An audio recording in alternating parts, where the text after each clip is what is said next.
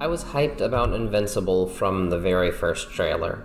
I had never read Robert Kirkman's comics, but the trailer hooked me instantly. It did so by showing glimpses of interesting characters and a bit of gore that made it clear this show wouldn't be like other animated shows. This one would be for adults. Invincible deconstructs superhero tropes like Amazon's other superhero property, The Boys. It follows Mark Grayson, son of Nolan Grayson, aka Omni Man, the world's strongest superhero. Nolan's got super strength, super speed, super endurance. He's Superman without the laser vision. Mark inherits his father's powers and becomes a hero while maintaining his high school life. It's a coming of age story that doesn't flinch away from the brutal gore that would result in a world with superheroes. They're an established part of the society and invincible alongside the supervillains that come with the terrain. What makes Invincible special, however, is how it's framed and how it utilizes its medium. So today on Tears In Rain, we're going to look at how animation enhanced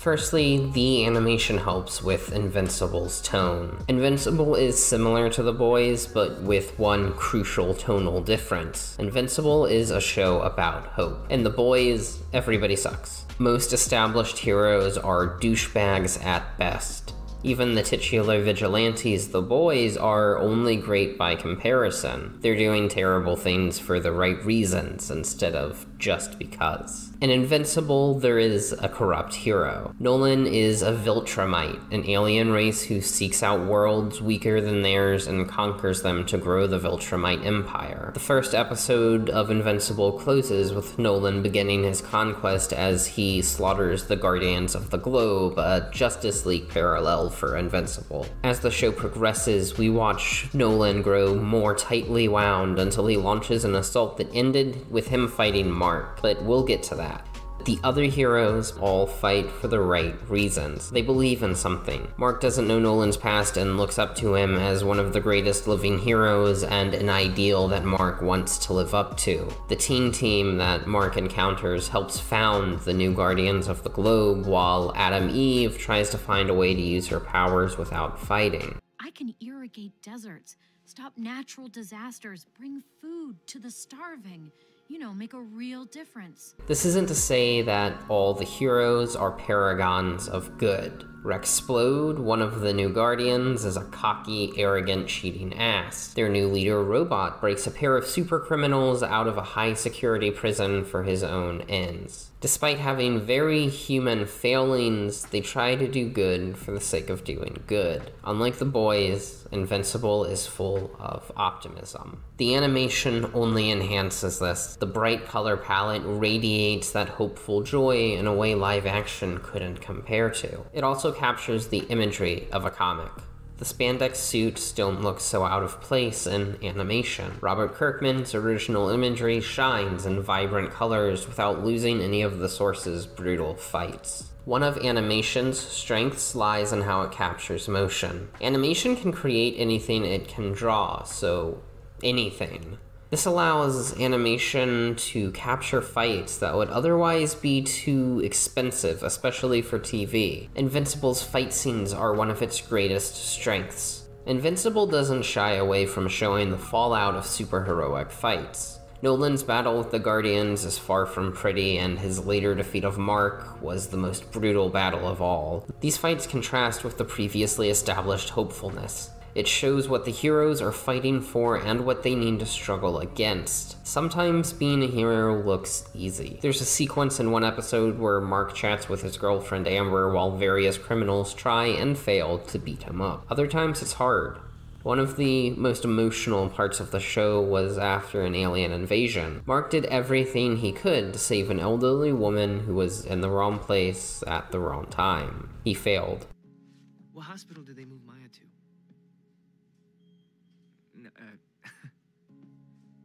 They, they said she'd recover.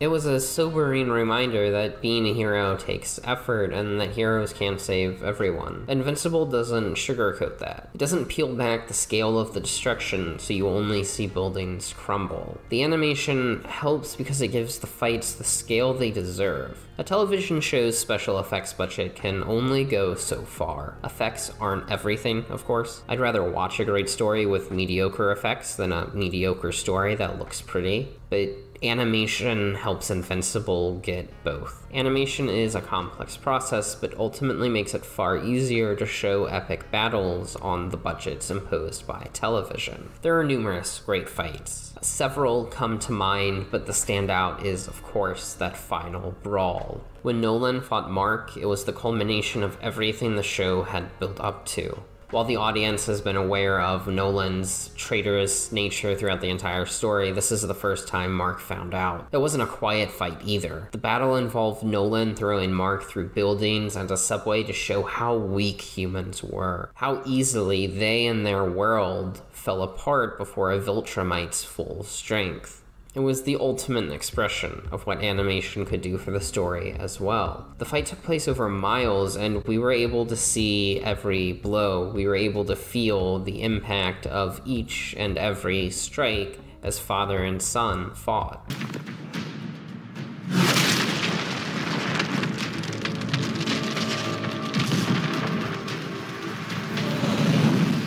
Animation captured the emotional and physical impact of the final showdown in a way live action television never could. For this fight to take place in live action, Episode 8's budget would have to have been massively inflated, likely at the cost of effects in other episodes. Animation delivered the kind of battle you only see in high budget blockbusters produced by Marvel and DC. 2021 has given us plenty of superhero shows, but Invincible is one of the best. It's not just a deconstruction of superhero tropes. Invincible is unique because it's animated. When it comes to American animation, it's often treated as a genre rather than a medium. There are so few animation productions from America that aren't adult comedies or children's stories. It's a shame.